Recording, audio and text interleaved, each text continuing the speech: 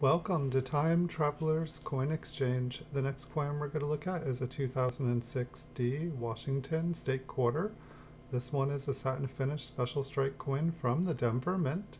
It has been graded by PCGS and they graded it Mint State 68.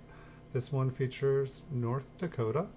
We'll take a look at the state of North Dakota here on the reverse of the coin, and then we'll take a look at Washington on the obverse. This coin is going to go up for sale on my eBay store. You can find a link in the description below the video.